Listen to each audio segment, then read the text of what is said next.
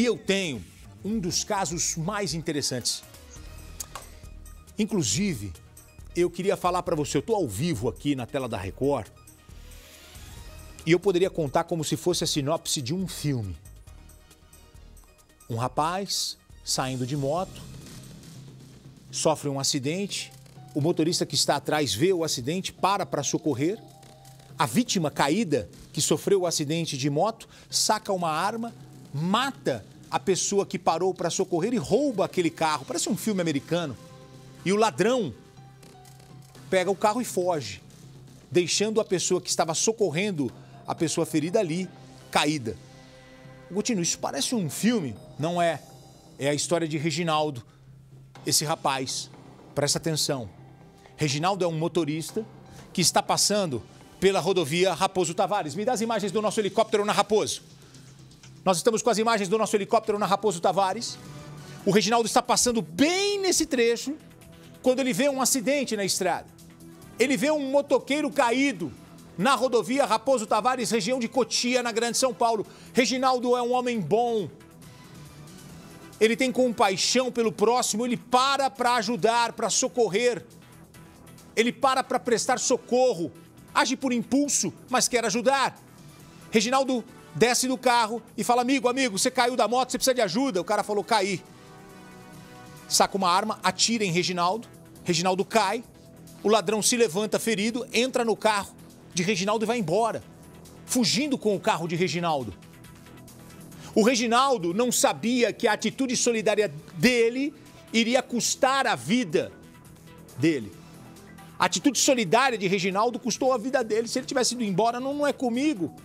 Mas ele falou: não posso me omitir, eu estou vendo um acidente, esse rapaz precisa de ajuda, ele não tem bola de cristal, ele não sabia que era um criminoso ali. Quem é a pessoa que estava acidentada? Um ladrão em fuga. Quando o Reginaldo se aproximou, esse ladrão sacou uma arma e atirou nele. Reginaldo foi baleado e morto. E ainda teve o carro roubado pela pessoa que ele parou para ajudar. Você conseguiu entender essa história? Aí a gente entrou no caso. Descobrimos que o ladrão, ele está sendo procurado neste momento. O ladrão tinha roubado uma moto no quilômetro 32, 33 da Raposo Tavares, andou 5 quilômetros na altura do 28, ele caiu da moto. Foi ali que Reginaldo parou para ajudá-lo. O Reginaldo não tem nada a ver com o crime. Muito pelo contrário, é apenas um homem solidário.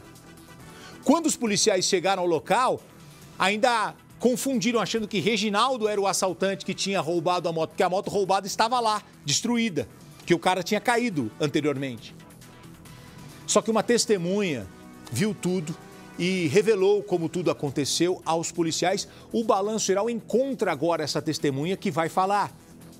O Balanço Geral também conseguiu acesso às câmeras de segurança que mostram. Imagem número 1 um na tela. Olha lá. Esse é o ladrão que chega para roubar a moto. A moto está estacionada. Me parece ali que é um tipo um estacionamento. Por volta de 10 da noite. Ele já, ele já vem com a arma em punho. E aí ele falou: Eu vou levar essa moto. O rapaz que está trabalhando ali falou: Não vou reagir. Tá bom, pode levar. E fez o certo o rapaz ali, ó. Não tem peito de aço, não quer bancar o herói. Ô Gotino, podia ter dado um safanão ali. Não, não a, a reação ali é complicada. Cada um reage de um jeito, ó. Ó, e ele ainda fez menção de atirar, ó. O cara falou, ó, se você vier para cima, você vai tomar. E ele vai roubar a moto. Este é o homem que vai sair da altura do quilômetro 32, 33 da Raposo e vai se acidentar na altura do quilômetro 28. Ali, ele vai pegar a Raposo agora. Ó, entrou na Raposo. Cinco quilômetros depois, ele sofre um acidente. E quando ele sofre esse acidente, ele cai, uma alma boa para para ajudá-lo. Cara falou: Você parou para me ajudar? Então toma. Pum, atirou, o cara cai, ele se levanta todo ferido, entra no carro e foge. Este aqui é o homem que está sendo procurado neste momento. Eu vou pedir para o Duriel até fazer uma aproximação do rosto dele para a gente tentar mostrar a cara do ladrão. Esse aqui é Reginaldo, o homem que parou para ajudar. Eu tenho uma reportagem exclusiva, inédita para você. Precisamos encontrar este homem, o ladrão que levou a moto e depois pode ter ligação direta com a morte de Reginaldo. Reportagem na tela. Um homem trabalhador, de bem com a vida, traído pela própria bondade. Na tentativa de socorrer uma suposta vítima de acidente, Reginaldo Prado, de 41 anos, foi baleado e teve o carro roubado pelo atirador que fugiu. Quando meu esposo chegou próximo ao carro do Reginaldo, o cara deu um tiro para cima primeiro. Aí o Reginaldo é, deu um grito: Cara, eu só parei para te ajudar. E aí ele falou assim: Não quero saber. Tudo aconteceu neste trecho da rodovia Raposo Tavares, na região de Cotia, Grande São Paulo. Reginaldo é o homem que aparece caído no chão depois de ser baleado. Além de levar dois tiros e ter o carro roubado, ele quase foi confundido com o ladrão. Foi essa mulher que preferiu não mostrar o rosto que evitou o mal-entendido. Ela vinha no carro de trás com o marido e o filho quando Reginaldo tentou socorrer o suspeito. E provavelmente, se a gente não tivesse voltado, ligasse só para a polícia, até o próprio Reginaldo ia sair como um ladrão. Porque até então a gente não sabia que o motoqueiro tinha acabado de roubar aquela moto. Essa imagem da câmera de segurança confirma a versão da testemunha. O flagrante mostra o momento em que o ladrão armado rouba a moto neste centro comercial no quilômetro 33 da rodovia Raposo Tavares. Ele entra no estacionamento de cara limpa. O dono da moto não reage, entrega as chaves. Fábio é vigilante e presenciou o assalto. Ele disse que o criminoso atirou antes de subir na moto e fugir. Por pouco, o motociclista que trabalha como entregador nessa farmácia não foi atingido. O rapaz da moto chegou da entrega e em seguida o rapaz entrou. Entrou, daí eu me aproximei ali para ver o que, era e aí ele sacou o revólver. Daí ele anunciou o assalto, né, ameaçou de atirar, até que efetuou o disparo. Eu acredito, assim, não sei, é uma hipótese, né, que o, a, o, os rapazes já estavam seguindo ele, né? Porque foi ele chegar, os cara, o carinha apareceu. O ladrão fugiu com a moto, mas percorreu apenas 5 quilômetros até perder o controle e cair na pista. E foi aqui, no quilômetro 28 da rodovia Raposo Tavares, que o criminoso sofreu o acidente. Repare que esse é um trecho de descida. Ele acabou derrapando e caindo no asfalto. O Reginaldo fazia o mesmo percurso e não pensou duas vezes. Ele parou o carro para socorrer o homem que tinha acabado de cair e tinha se acidentado. Só que durante o socorro, Reginaldo foi surpreendido por dois disparos. Além de atirar nele, o criminoso pegou o carro de Reginaldo e fugiu em direção a São Paulo. Segundo as investigações, ele percorreu pelo menos 11 quilômetros e acabou abandonando o veículo às margens da rodovia, próximo a uma comunidade. A polícia esteve no local, fez rondas, mas o suspeito não foi encontrado. Reginaldo foi levado para o hospital de Cotia, mas não resistiu. Ele era vigilante em uma empresa de segurança privada. Apesar do preparo para lidar com situações perigosas, agiu por impulso, não pensou no risco, só quis ajudar. Para a testemunha do crime, ele foi um herói.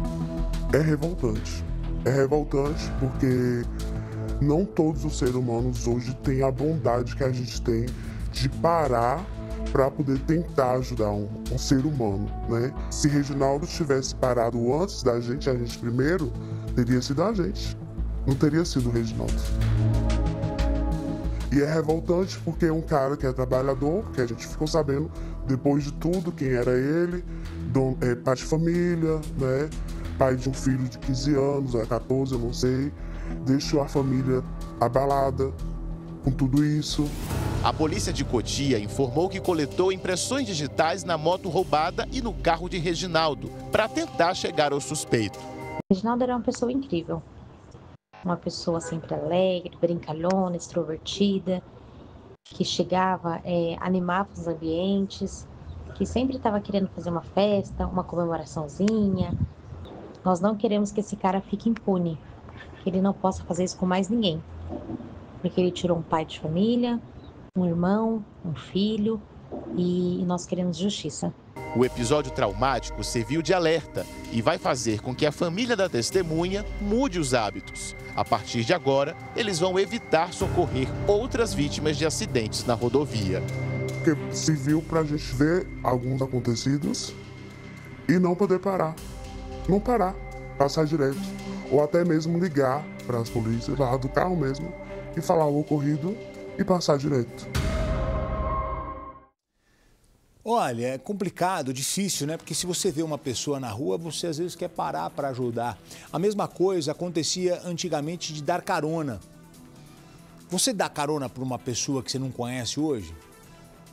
Outro dia eu tava passando na estrada uma pessoa dando um sinal assim, a vontade de parar e ajudar, mas você vai botar uma pessoa dentro do teu carro. Você fala, meu Deus do céu. É complicado, é difícil, é um bom assunto pra gente conversar. É, no caso da mas o rapaz aqui, eu fiquei triste demais, ele parou pra ajudá-lo. Porque o sujeito, eu, eu disse aqui, é mal. Uma pessoa má. Má. Porque se Gente alguém, ruim, vai, né? se alguém vai me ajudar, eu, eu, eu posso ser o pior criminoso do mundo. Eu agradeço muito por estar sendo atendido por alguém. Nós poderíamos, poderia ser um de nós. É. Você para. Agora, com essas imagens, a polícia tem que identificá-lo. E, como disse a irmã da vítima, tem que botar ele na cadeia e deixar, esquecer, joga a chave fora. Olha, os meus sentimentos à família do Reginaldo e que a família saiba, né, que ele morreu numa atitude positiva, numa atitude boa, né, é, é, que não haja uma inversão de valores, né. O errado não é ele de ter parado, o errado é o criminoso de ter puxado o gatilho e atirado.